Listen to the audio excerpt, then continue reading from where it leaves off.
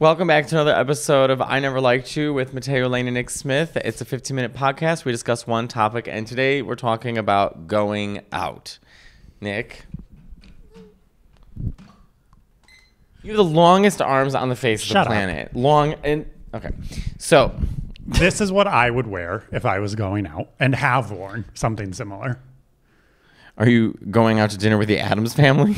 No, I always say when I go out, I look like uh, Maggie Smith dressed me from the Downton Abbey. yeah, yeah. You look like you're it, it's somewhere in between Downton Abbey and Saturday Night Fever. In fact, we went to a club and I was wearing basically the same outfit, blouse, pants, while a go-go dancer in moccasins got fully naked on a table this far away from us. You were dressed like Barbra Streisand's The Third Album. exactly. That's what I was going for. So going out, this is something we do not do. Now, before you and I were friends, which was a happier time in my life, Same. um, Fond memories. me and uh, Patty and Taylor would go out every single night, every night. But we were they they don't drink and I don't drink either. We go out to see Monet and Bob do drag shows. So first we go see Bob. So it was like Barracuda, or we go wherever, right? And we go see The Help, which is a show that Bob ran with Pixie forever.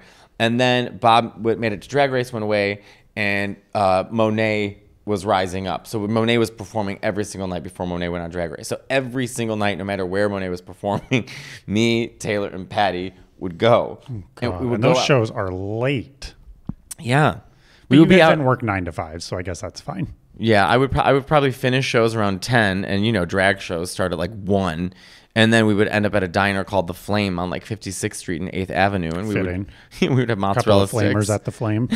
we all kept complaining about like why do we have so much bacne? Oh, we're drinking Red Bull and eating mozzarella sticks till 5 o'clock in the morning. But and what's your excuse now? uh, it's just poor living, um, like not taking care of myself, lots of drugs.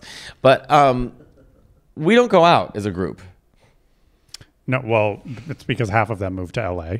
But even when they were here, we wouldn't go out. Yeah, well, Do you feel because a lot of gays go out? I was never look, I've never drank in my life. I've like had a shot for people's 21st birthdays, but I've never had like a full drink in my life. So you've never been drunk. Never been drunk. I have no desire to. I don't like loud music. I don't like crowds. I don't like late hours. Are you that maid in Mrs. Doubtfire? I don't do laundry. I don't do cleaning. I don't do sewing. I don't do vacuuming. I don't do. Yes, also a vampire. um, actually, no, that doesn't make sense because What? How come you never like night. you never drank? I never drank. I never went out. So like my 20s, which is when I think most people are like, that's when they're sort of Or if you're from Chicago, and doing you everything. start when you're 14. right. That was just never my thing. And I always said, oh, I can't wait until I'm in my 30s. That'll be more my time because people stop going out as much and everything, which is true. I'm now in my 30s. We never really go out. If we do, it's to dinner and we go to the early bird special. We go to Denny's, but everyone I'm saying is like everyone our age goes out. And have you ever felt like, like I'm missing out. Yeah, Not particularly because it just doesn't look appealing to me. I mean, to each their own. Some people love it, and that's good on you. That's just never been my thing. it is fun. I mean, I'd when- rather hang out at Bob's and watch YouTube videos, Which we've or done hang out plenty at that. home and play Fortnite, or go to dinner and be home by seven. Like, I mean, I will say our whole group are late night performers. And so I think once you're performing at late night, you stop seeking a, nightlife, like going out, like that catharsis. You know what I mean? It's also gotten to the point where, like, especially when I was introduced to the group, Bob had just won Drag Race. Monet was becoming more popular. And you how were becoming more Bob? popular. So, like, it's just hard to go out with people who are more known in the gay world because you just can't enjoy You it look like. Maleficent talking to me, trying to make a serious point. And you're like, before the sun sets on her 16th birthday, she shall prick her finger on the spindle little- of a spinning wheel. They're kind of like lampshades. So you're Lumiere. Um, how did you meet Bob? um, through Grindr, and we ended up spending the entire night watching Golden Buzzer moments from uh, America's Got Talent and Okay. Britain's Got Talent, and Was Susan Boyle on that? probably and The Voice Kids Philippines. Excuse me? You heard me. We literally spent the entire. I remember I didn't even get home until like four in the morning because we were watching endless videos. And after that, we both were just like, yeah, this seems about right that we should be friends. I remember Bob calling us like he picked up an orphan, like a gay orphan who's in his 20s. And he was like, he basically did. Look, there's this guy. We've been hanging out. He doesn't have any gay friends. Can he just hang around us? And I was like, okay, sure. And I met Nick on Bob's old leather couch. Remember that leather couch that was in his Well, it wasn't old. He had just got it. And Nick's just sitting there like that. And somehow we brought up that you sang opera. Right. Bob brought it up because he knew you sang opera and I sang opera. So he was like, oh, this is going to be something they can bond over. And in true us fashion, immediately started arguing because you liked Maria Callas and I don't. Yeah, you like Sarah Brightman. You Okay, like, let's you not like get crazy. You like you. Not only do you love the Olive Garden for your cuisine, you love the Olive Garden in the singing world as well. You love like a knock a sixty-year-old uh, white lady. You like. I mean, I feel like your version of opera is just so like Julie Andrews. You know what I mean? Like the the whitest voice. So you're saying you don't like Julie Andrews singing? On record, I want you to look at that camera and say you don't like Julie Andrews singing. I'm just trying to think of like the like the most like what's the most um like uh, Victorian way of singing, and you like that. I mean, I, I like all different kinds of singing, but I just didn't. I'm not a huge fan of Maria Callas. So the first time we met, we just argued over that. But why don't you like Maria? Because Maria is I think she's an amazing actress. I think what she can do with her voice is amazing. right. I just don't particularly. I like a pretty sound, and she doesn't have a pretty voice. I prefer prettier voices. I don't disagree that she has a. I mean, she. I mean, it depends on how you define pretty, I guess. But she does. I mean, she is For me, Yeah. it, it's not pretty. I just think that like, your singing is very like. I don't know, just like, just like so by the books in a way. I don't know. You want a Christmas tree in sound. I love Christmas trees. you do, you do. Um, I feel like this is what Maria would wear if we were like, "Hey, we're going to industry tonight." She'd pop this. you think Maria on. Callas would dress up like Bea Arthur and the Golden Girls? Yes. And you don't think she was going out with her f- in Italy? Uh, I don't know. She was hanging out with Meneghini, her old husband, and then she was hanging out with Onassis on a boat. So I don't think that she was. Okay, so She would she would go to parties. I mean, that was sort of like the I think the downfall of her is like she of her voice at least, where because she was like always partying, going to like events rather than like focusing on the voice. right. So she would have gone out. She's probably been out more than you and I have. Have you Certainly been to, me. Have you been to a circuit party ever? No.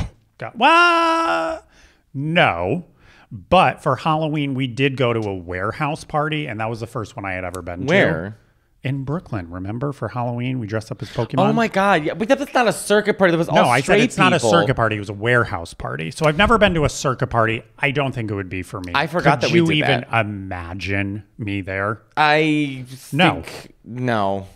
So this warehouse party, we had fun, but like at a certain point, I Well- was like, we, I gotta go. Right, because it was very like It was predominantly straight, which I which is like. fine. It, I liked the mix. It was fun to see everyone's costumes. But they had the gay room. But it was funny because in the gay room, the lights were so bright, and you know it's because they were like, these queens are going to be blowing each other on the dance floor, and they were. no fucking.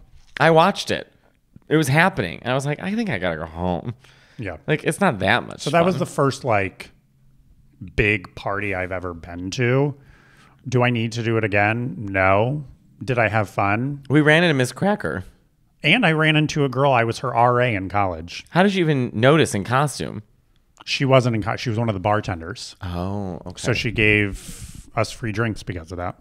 Well, the one time we went out for Patty's birthday at Club Q, RIP, um, we had a good time, I thought. But not RIP because I'm pretty sure they were racist.